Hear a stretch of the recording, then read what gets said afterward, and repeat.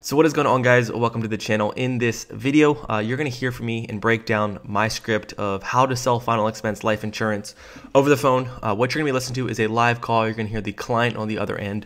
But ultimately, I want to share with you how selling final expense, you're going to learn in this video the one skill, the one character trait that helped me succeed as a life insurance agent that I feel like I mastered, that helped change my life. It was building a connection, building rapport, and ultimately building trust. When you can represent your product to the best of your ability when you can build a relationship with the client, and when you can hold yourself accountable to being the best life insurance agent in 2024. And as you're a life insurance agent, you can print money and sell a ton of life insurance. So in this video, you're gonna hear an amazing relationship that I built with this client and ultimately helped a guy who didn't have life insurance, who was thinking about life insurance. And ultimately, he initially called me and said, Hey, Peter, I want $100,000. You're gonna hear, I want $100,000 of life insurance. But here's how you set expectations. One of the hardest things when it comes to selling life insurance insurance is people who are looking for life insurance but have unrealistic expectations. And in this call, I'm going to break down how I narrowed his focus, found his problems, and ultimately offered a solution that will give him the peace of mind. Just to give you a quick hint, this man wants to buy a Mercedes Benz casket, but he wants $100,000. I won't spoil it for you. Wait to the end. I want to share with you ultimately how I sold this guy, put him in the best position, and got a client for life. I hope you guys enjoy. Cheers. Bye. Wow. Sheesh. And, uh, I went to Trinidad for some, you know, some months and stuff, and something happened with the payments. One of the agents, she quit, never said anything. Oh gosh. And I didn't know what was happening with the policy. She was out of Illinois. Uh, I met her out there in Illinois. Yeah, yeah, yeah, yeah. And she just quit the job, never passed it on, and by the time she passed it on, the policy had lapsed. Get out of here. And the other lady well, I didn't really. I we talked a lot. Um, we came close to signing up, but I didn't. Why not? And then, well, at that time, I wasn't able to. Oh, okay. And then the other policy I had for two hundred, that one was for two hundred or three hundred dollars. Yeah. After after like a year and a half, that lapsed. Oh my god. That was all, that was my fault because I fell ill and I wasn't able to keep the bills paid. Hmm. Okay. And the grace period she gave me was like 30 days. I just couldn't. I just couldn't catch up. I You could- I, I, Yeah. I was overwhelmed. You know what I mean? Oh my gosh. I, I can't imagine. Are you doing? That's how, that's how all that went. You know what I mean? That's, that's Uh-huh. how all that went. So it seems like you've always had the life insurance, and you just want to I make. always sure. try to maintain it. I always try to maintain Mm. one or two policies. You know what I mean? Yeah. And like, I I guess, what are you most concerned about now that you don't have anything? Like, what are you worried about? I just want to make sure I get buried in a Mercedes Benz casket. Okay. Any money, any money left over, to whoever can have it. I don't know which woman I'll be with at that time or whoever. whatever. Okay. I just appoint my sister to direct the funds wherever. Okay. So you want to make sure something happens. That Mercedes Benz casket, how much that cost? Like 15 grand? That's that's never heard of that. We don't know. It's custom made. We don't know. Sheesh. Okay. It's a custom made. It's a custom made um, casket. That's cool. I mean, not really cool, but I mean, that's interesting. Uh, in regards to, um, okay, gotcha. I'm gonna explain how we work here to help you. Uh, what we do is that we specialize, we work with 26 companies here in the States, and we actually have access to these special programs that are only available. So I'm gonna do my best here to find you the, the, the most affordable plan for you and the best rate. Does that sound good? Um, I got you at 53. What's your actual birthday? August. Okay, August. Let me just put that in a second. Okay. Correct. Okay. Any heart attack, strokes, cancers before? No. Okay, with the diabetes, you on metformin, you taking ins- The only ailment, uh, the only ailment, thank God, I've ever had is diabetes. Okay, gotcha. Are you managing pretty well? Do you have any complications? No. Okay. Any like neuropathy or any retinopathy? I, no, I don't think so. You know, are you taking gabapentin right now? No, no, no. Okay. Are, are you on insulin or are you on metformin? No, I just take metformin and two insulin. Diet. Okay. Let me put that there. Sometimes like, the doctor stopped me from taking Jardiance. Okay. How long were you taking the Jardiance? Sometimes like a year. Okay. Was it just not doing doing you right? But he said, he said the Jardiance does something to something. I'm not sure what he said, but he said, listen, I'm going to pull you off of that Jardiance. Yeah. And you're not on. Mhm. Metformin, Trulicity, and there's a third one called Glipizide. Glipizide. Oh, that's a pill. Yeah, that's Yeah. I take every day. Okay. But did they ever give you any Lyrica or gabapentin? That's a big medication I need to know No, no, about. no. Not Those a, are for- those treat um, nerve damage. neuropathy and they treat depression and all kind of shit. Yeah, it's a bunch of. I'm not, I'm not into Oh, okay, good, good, good. You seem like you- you're doing it right. Good, good, good. And then, um, what age were you diagnosed with your diabetes? You know, I want to sit there and tell you 2005. Okay. 2005. You seem like a trustworthy guy. 2000. Yeah, that's when my grandmother passed. Ah, dang. 2005. Yeah, you know what? I'll tell you, it was March 14th, 2005. Two March 14th. When I went to Dr. Harold Walker in East Norwalk, Connecticut for my annual physical. Know congestive heart failure, kidney disease, retinopathy. Never had any of those. All right, cool. I'll give you a high five. It seems like you're taking care of yourself. And in regards to, Never had diabetes, nothing else. Okay. good. Would you look at that? And then, what is your approximate height and weight? Mm. You're gonna love these numbers. For 53, Talk to me. I am 6'1", 200 pounds. Okay, six one. Okay, I hate to run into you on a on a dark dark night. You probably take take me out. I'm a, I'm a young I'm a young bull. I'm, I'm like 115 wet. I'd have to run from you. I'm, I'm really soft in the eyes. Oh, I can tell you got a great heart, don't you? That's awesome. Okay, six. Leo, My guy, I was born in August. I have a big heart. Oh, I could tell. Uh, beautiful. And then uh, any um any other any other like hospitalizations, anything like that? No, I'm good, man. I'm good. Cool. Yes, God knock on wood, man. He's been good to you. Amen. Amen. Love that. Uh, before I jump in this, I do want to give you um, give you my information. I don't know if you're able to write it down, but it's really important. I mean, you had experiences where your life insurance agents they ran on you. I've been doing this for How old are you, sir? me, How old are you, 25. Okay, you're 25, right? Yeah. I will bet you the entire content of my policy directed to you that in two years you're not going to be selling life insurance. Who is you are? Two years you're not to be selling life insurance. I've been doing it for two years, going on my third. So two more years, guess what? You're not going to be doing it. Why you why you why you betting down on me? I'm here to help you. Come on. Listen, listen, my guy. I have had three or four agents Yeah. quit midstream. Even the last girl, she was so sweet. Her name, I forget her name, but she was working at MetLife or New York Life. Oh, that's why. She for several years, and she said, "Listen, I'm not changing careers." Da, da, da, da. But she promised, you know, if she do, Yeah, I, I she's going to contact me and send me, give my information to another agent, which she did. His name is, and but she moved on. dang. She moved on.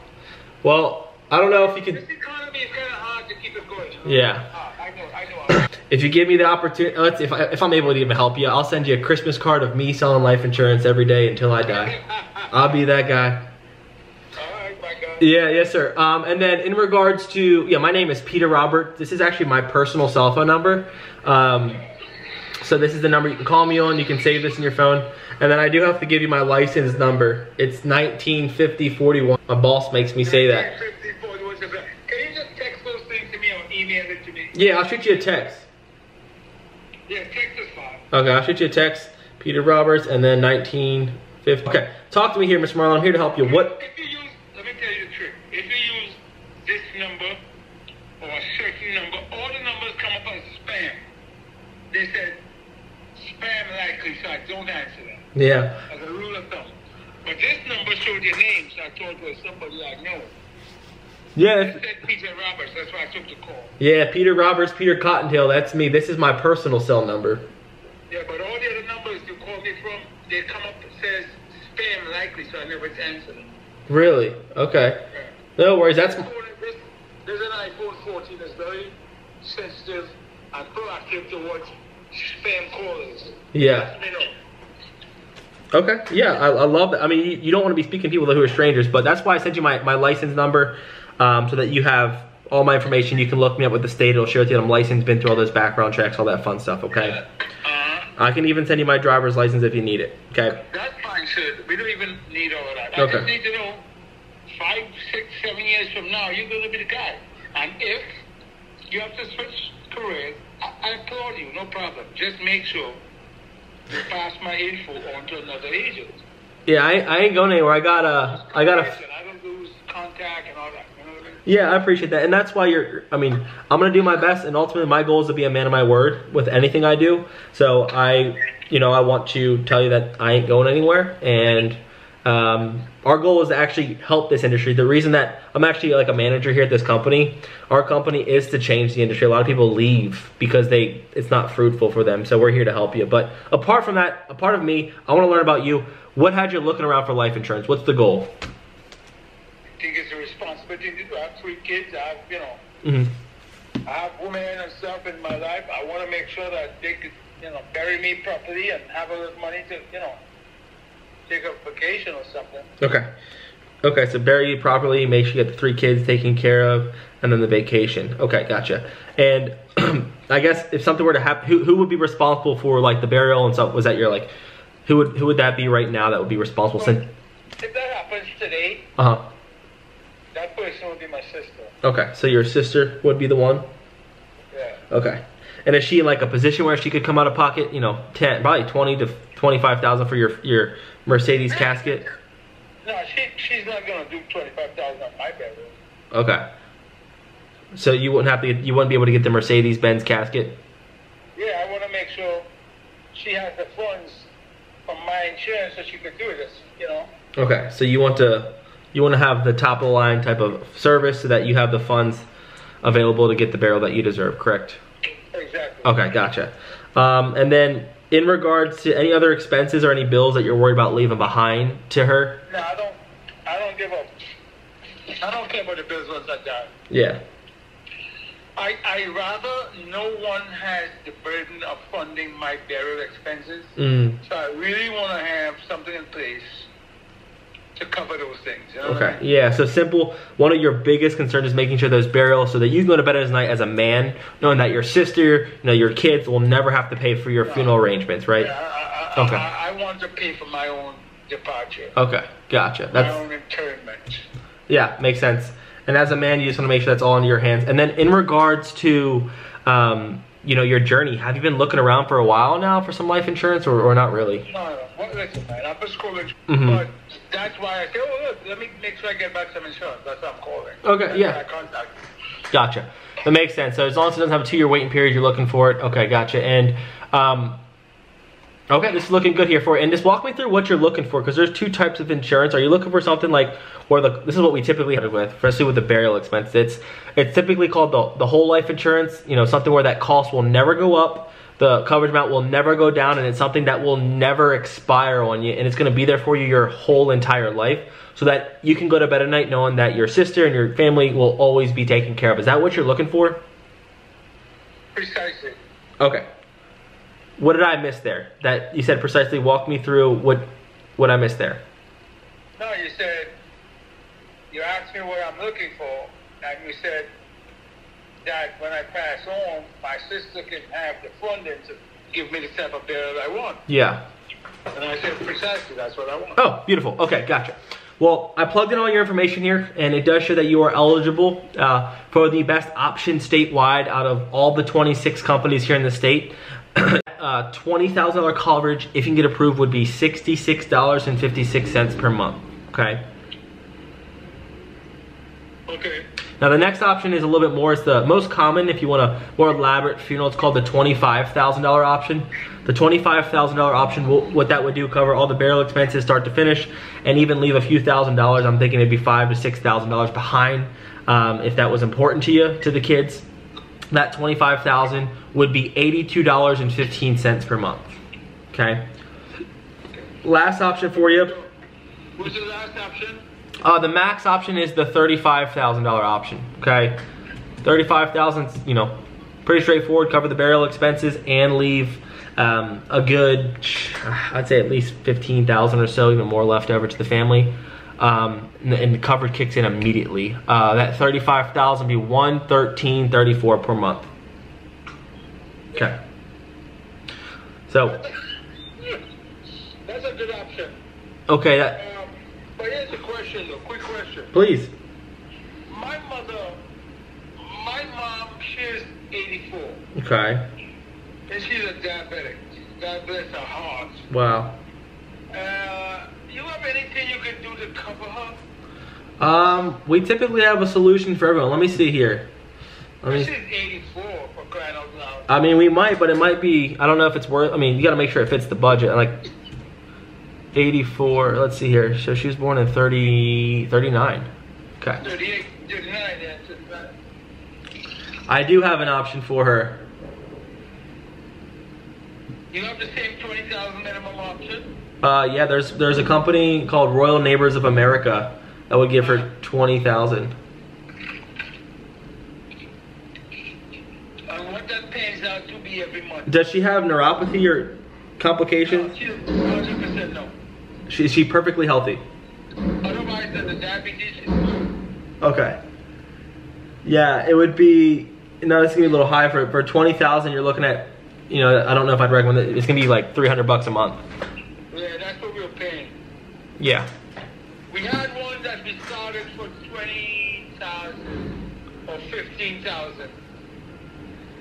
So either 20 or 15,000. And um, we were paying it, we were paying it together, my brother and my sister and myself. Yeah. And I don't know what the freak happened in the last month or so. Like, there was a miscommunication with who sent what and what, you know what I mean? Yeah. There's a bunch of look at that, look at this. My brother Yeah. said, hey, the, it's no more. We decided not to have it anymore. I don't know what happened.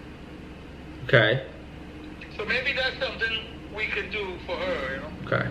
Well, I want to be here for you and, and make sure your whole family's taken care of. Uh, the big thing, you know, I know we can do is we can help you out, and then we can look at some options for your mom. Does that does that work well for you? Yeah, we can probably do that. Okay. So walk me through. I mean, just for you, um, Mr. Marlon, were you thinking like what's better for you, the twenty thousand or the thirty thousand? What, what, what option makes most sense for you? Um, you said the 30,000 was a hundred, was a buck 13 or buck 15? Yeah, buck thirteen for the thirty-five thousand. That, that would be the one that I would like to go for. Okay. What about that one? Do you think? Why is that best for you? Because my father taught me a lesson. Okay. He said all or nothing at all. All or nothing at all. Go big or go home. Uh, he was a glutton, man. That guy was a millionaire. Oh my God. He Really? had a good time. Yeah, he had a great time in his life. Oh my gosh, he was. And he passed on when he turned 68. Wow, youngin, man. And Mr. Mr. Mullen, that that 30 35,000 for that 113 35 34 per month, is that going to be comfortable and affordable for you every month? I just want to make sure it fits the budget. 100%. Okay, cool. You're important to me. I, I don't want to get you something that you can't keep because I know. Basically, what I can do is, I can just plug that into my monthly um, thing and let it come out of that, and I don't have to worry about it. Yeah, and we also have a customer service team. I don't know if you have this in the past, but if you were to happen to miss a payment or need to move a payment, we can actually arrange that. We have a customer service team that can help you with that too. Okay. So what we can do for you here, Mr. Marlin, is I, I gotta first see if they can get you approved, and if they do get you approved, we can kind of name your beneficiaries and then set up the time that you you know want that first payment to come out. Does that all work for you? yeah, that's fine. Okay. And in regards to, I forgot to ask you, no COVID in the last 30 days? Know what? Any COVID-19 in the last 30 days? Man, that was in 2020. I never had even a cold since 2020. Okay. I love your accent. Where are you from? I was born in the Republic of Trinidad and Tobago in the Caribbean. Oh, Trinidad and the Tobago? Yes, sir. It's a Trinidad and Republic in the Caribbean. Oh, what, what, uh, is your family, do you have any family there? I have brothers. I have a brother down there, yeah. Oh, that's lovely. What brought you to the States? I feel like it's so much more beautiful there. Came here 30 years ago, man, and I got ah. caught up with wife and kids and all that stuff. Oh, would you look at that? How, And I've been here ever since. wow. You ever plan on going back? I go back all the time. Oh, would you look at that? That's be- Now, right now, I'm thinking to go back for good. really get out of here. And this country stuff. Sir, who the fuck you gonna excuse me? Who you gonna vote for, Trump or Biden? And why? They both wear diapers. Oh my God. They're both crazy. I mean, they both got their own issues. Would you look at that? Three, 300 million people in America. That's all we can come up with? No. Uh, come, uh, you're telling me. Probably make a better president. Hey, what? Hey, when you go, when you go to, when you, when you go, what is it? Trinidad to, to I don't, I, All right, guys, so I want to share with you how the final sale finished off. This was an interesting one. So was able to take him into the application, put his beneficiaries information on there, and got him uh, approved. And the last step was putting on the banking information. This guy was super hectic. He was running around. And one of the lessons that I teach my team is that time kills deals. And after building so much rapport and speaking to this guy and talking about his family life and when he's going back, out of country and just building a great relationship. Uh, he actually on the banking said that he needed to go. He was like, "Hey man, I got a lot of people out. I'm actually going to get my car detailed. Can you call me back in 20 minutes?" He's like, "My phone's about to uh, about to die." I was like, "Go ahead and charge it. Go plug it in. Go plug in." Just trying to push that sale. And act- and he was like, "Just dude, promise me, I'll call you. I'll call you back in 20 minutes." So I called him back in 20 minutes. He didn't answer.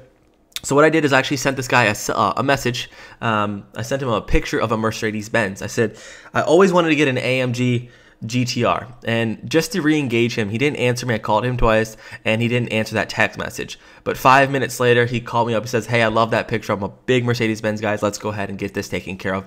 And I did solidify that sale and get him approved and ultimately uh, make sure that I got the banking, the routing, and account number and lock down that sale. So just creative ways that you can, when people are running or have to go. Like you don't make the sale until you have the banking information. So that's what I did there. It was kind of hectic. I know the camera cut out a few times, but I hope you guys learned a lot about how I build rapport, how I focus on building this relationship. And ultimately, when I get someone on the phone and I can build this connection, I'm always thinking, how can I be the guy? How can I be the girl uh, that is going to serve this person, that's going to take care of this person and to serve this person? And ultimately, he made a bet that I'll never forget. He said, every single life insurance agent that I spoke to always says they're going to be here for life, but I, I guarantee I will bet money you won't be here in two years. And I think that's going to be a joke on him. I'm going to send him a Christmas card every single Christmas just to say, hey, Mr. Marlin, I am still your guy. Uh, you are loved, and ultimately, um, I want to make I made that commitment to be that guy for you, and I'm a man of my word. And you know, welcome to the family, and thanks for being a part of the family. So